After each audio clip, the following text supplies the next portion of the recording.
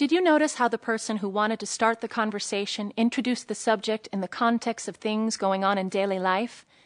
She acknowledged that it was a difficult topic, stayed calm, and respectfully listened. She stated her needs using I statements, and ultimately, she was patient and didn't push it. Resistance is very normal. By acknowledging her concerns and showing an understanding, she was able to break down some of the resistance. Her gentle approach makes it likely they'll talk about this again. But remember, these are sensitive issues, and it's not as easy as it looks.